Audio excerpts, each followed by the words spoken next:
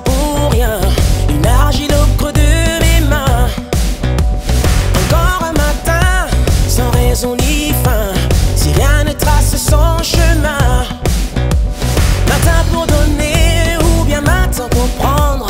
Pour oublier ou pour apprendre. Matin pour aimer, mon maudire ou mépriser. Laisser tomber ou résister. Encore ሸኪዱት መታበ